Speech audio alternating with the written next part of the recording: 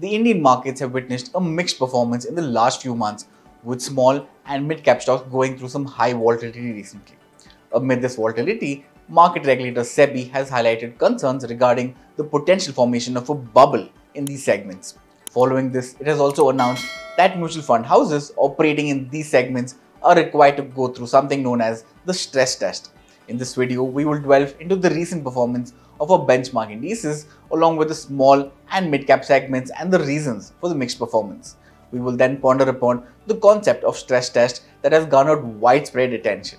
We'll explore what exactly a stress test entails, highlighting its significance in the current market climate and the rationale behind implementing these measures. Additionally, we'll discuss how to interpret the results of these tests and their implications for investors. Lastly, we'll talk about key highlights and shed light on these critical aspects to provide clarity and insight into navigating the dynamic landscape of the stock market. Let's, let's begin. You're watching Informed Investor, an initiative by Research and Ranking.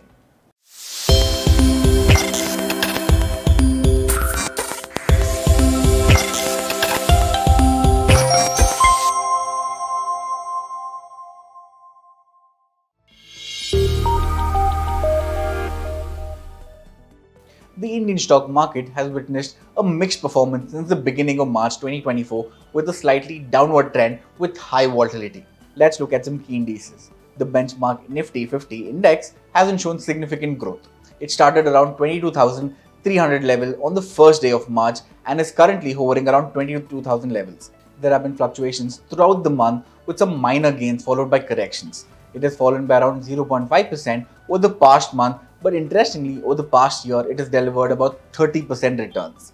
Before we get into small cap index and mid cap indexes, let's understand what these stocks and funds are. Mid cap stocks are a category of equities that represent companies with a moderate market capitalization ranging from 5,000 crores to 20,000 crores. These companies in general offer a higher growth potential than large cap stocks. Mutual funds with the tag of mid cap mutual funds are the ones that put at least 65% of their money into mid-sized company stocks. The rest, about 35%, can be in other types of stocks like small or large caps according to SEBI rules. And small cap stocks are a category of equities that represents companies with a market cap of less than 5,000 crores. These companies are relatively smaller in size and are usually very volatile in nature. And small cap mutual funds are the ones that deploy at least 65% of their money into small sized company stocks. Now moving on to the respective indexes. The Nifty Small Cap 100 Index mirrors the behavior and performance of the small capitalized segment of the financial market. It consists of 100 exchange listed companies and represents approximately 5% of the free float market capitalization of the NSE listed stocks. Some companies listed in the Nifty Small Cap 100 Index include Adani Green Energy, Bharat Electronics Limited, and Apollo Hospitals Enterprise Limited, etc the Nifty Small Cap 100 has been a dragger and has delivered negative 6% returns in the last one month, while in the past one year it has delivered an impressive 65% returns. On the other hand, the Nifty Mid Cap 100 Index is a stock market index that tracks the performance of the mid capitalized segment of the Indian financial market. It consists of 100 tradable exchange listed companies that represent the mid sized companies within the Indian equity market. Some companies listed in the Nifty Mid Cap 100 include Ambuja Cements Limited, Ashok Leyland, Biocon, Blue Dart Express Limited, etc. Similar to the small cap index, mid cap index has also plunged by 3.7% this month, but on a longer term basis of one year, it has delivered a staggering 57.5% returns. While we've spoken about the Indian growth story several times in our videos, we'll just look at the recent mixed performance and the reasons behind it.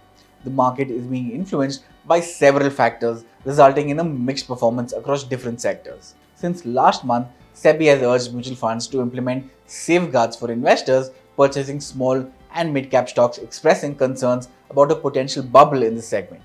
Moreover, SEBI chief expressed concerns about off-the-charts valuations suggesting inflated prices unjustified by company fundamentals. Additionally, the Federal Reserve recently announced its decision to maintain its benchmark overnight borrowing rate within the range of 5.25% to 5.5% for the fourth straight FOMC meeting. This will potentially impact the foreign investments in emerging markets like India.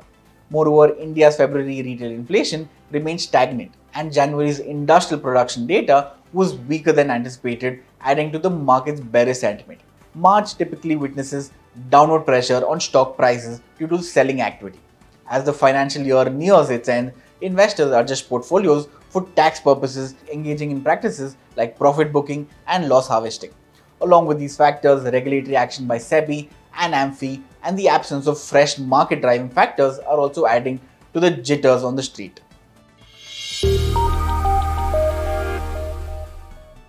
Now moving on to another segment which has garnered significant attention for the market participants in the market, especially for mutual funds. You know, when it comes to investing in mutual funds, one of the key things to consider is liquidity.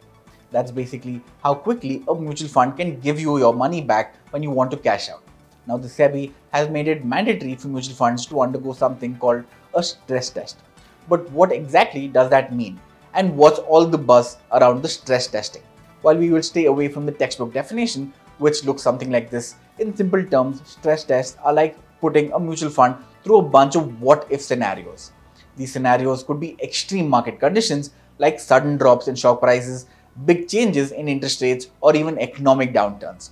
By analyzing how the portfolio responds to these stress scenarios, analysts and investors can gauge its ability to withstand adverse conditions and identify potential vulnerabilities and risks. More importantly, the stress test determines the time within which an investor can recover their investment in the event of a downturn in the equity market. And starting March 15th, mutual fund houses are expected to reveal stress test findings every 15 days to investors. But wait, what exactly do these stress tests analyze?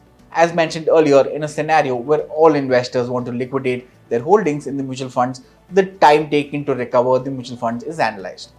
Secondly, it checks the impact on the prices of stocks due to aggressive selling by the fund house in order to liquidate and cater to the redemption request of the investor. A point to highlight is that small cap and mid cap mutual funds usually take longer to liquidate compared to large cap funds as shares of smaller companies may be more difficult to sell. Mutual fund companies conduct these stress tests to assess the liquidity of small and mid cap portfolios and evaluate potential risks present while investing in these segments.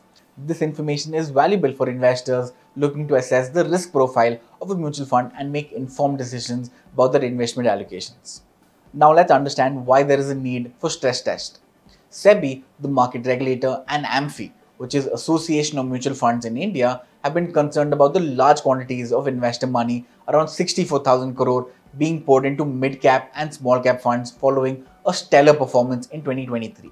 If you look at the below images, the Nifty Midcap 100 has delivered about 57% returns in the last one year, while the Nifty Small Cap has delivered an impressive 65% returns during the same period.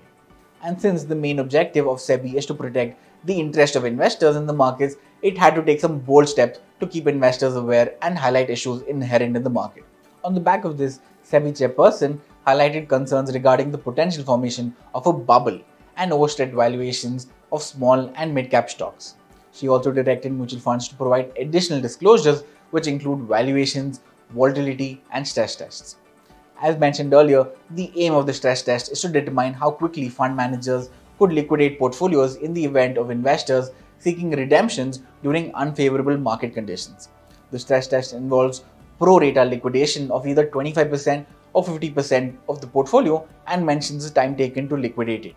Now let's look at the different mutual funds and look at the stress test results looking at Nippon India Mutual Fund, which has an AUM or assets under management of 46,000 crore in small cap funds, it stated it would require 27 days to liquidate half of its portfolio and would take about 13 days to offload 25% of the portfolio. On the other hand, the mid cap funds would take 4 days for 25% and 7 days to liquidate 50%. In other words, if the fund house needs to raise cash quickly by selling of assets, it can liquidate the specified holdings within the time frame mentioned. Edelweiss states that it will take a mere 2 days to liquidate 25% and 3 days to liquidate 50% of its holdings in the small cap segment. For a mid cap, it would take 1 and 2 days respectively. The worst, or rather the fund having the least liquidity, is SBI Small Cap Fund, which will take 60 days to liquidate 50%, whereas in mid cap segment, it is Kotak Mid Cap Fund taking 34 days to liquidate 50% of the portfolio. Out of the entire list, Edelweiss and Motilal Oswal have the least time frame in small cap funds, while in mid cap funds there is Edelweiss followed by Tata AMC, Aditya Birla and Franklin India Mutual Fund. In general, mid-cap funds have better liquidity as compared to small-cap funds and hence the time frame to liquidate is lesser.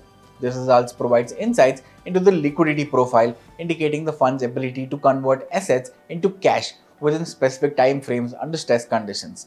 A longer time frame required to sell off assets may indicate higher liquidity risk, especially if investors need to redeem their investments during turbulent market conditions. Now let's look at the conclusions from the stress test. Through stress test, investors gain clarity on the liquidity of their mutual fund assets. This test also highlights the necessity for mutual fund managers to maintain liquidity awareness and readiness to meet sudden redemption demands effectively. Small cap stocks in general can be trickier to sell quickly compared to larger firms as they offer lesser liquidity.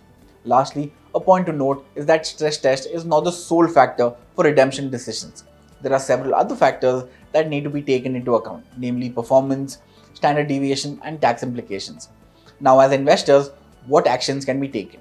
First off, diversification is key. This entails spreading your investments across different asset classes like large cap funds, debt instruments, and maybe even some gold. This helps to balance out risks and potential returns. Secondly, be cautious when choosing funds. Look for those with a solid track record, clear investment strategies, and transparency regarding liquidity. Knowing where your money is going and how accessible it is can make a big difference.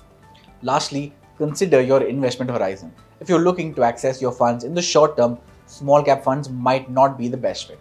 It is all about aligning your investment choices with your financial goals and timeline. Having said that, this is me Ralston signing off. Have a great day and stay safe. Did you like watching this video? Then download our app Informed Investor to watch more such informative and interesting videos. Investments in securities market are subject to market risks. Read all the related documents carefully before investing.